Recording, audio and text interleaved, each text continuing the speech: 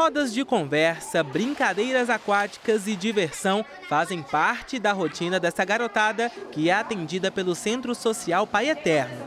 Diariamente, essas crianças ficam no contraturno escolar, possibilitando que pratiquem atividades de inclusão social desenvolvidas na entidade. Então, nossa missão, a gente pauta ela pelo, por uma frase simples e direta no nosso objetivo, que é transformando vidas e cuidando com amor.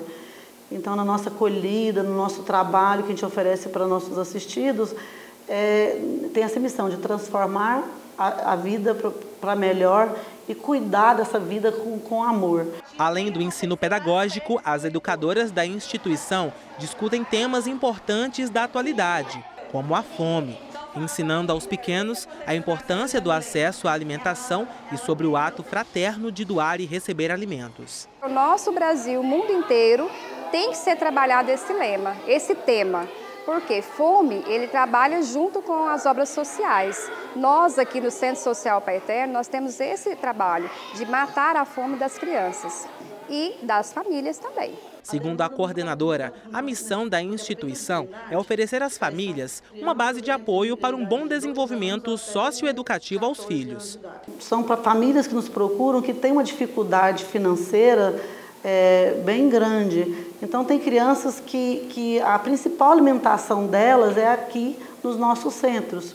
Então, aqui no centro ela recebe duas refeições no horário que ela, que ela frequenta. Então, nós fornecemos todos os dias para mais de 300 crianças é, quatro refeições diárias, que a gente busca é, trazer para essa criança uma alimentação equilibrada e saudável, com todas as proteínas, vitaminas que a criança precisa para ter um bom desenvolvimento físico e psíquico. Existente desde 2004, as obras sociais redentoristas sempre acolhem as famílias carentes da região de Trindade, distribuindo alimentos e também trazendo as crianças no contraturno da escola para receberem educação social.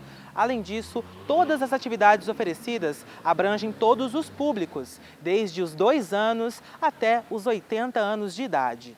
Para muitas crianças, esse espaço é o único ambiente onde elas conseguem realizar uma alimentação adequada. E a IACMA ficou grata em fazer parte dessa obra social e assistir de perto a evolução de cada uma delas. A maioria das nossas crianças tem aquela necessidade, aquela falta do alimento na sua casa, né? E aí eles vêm para o CESP né, procurando essa alimentação. Porque aqui a gente recebe dois lanches para eles, um da entrada e um da tarde.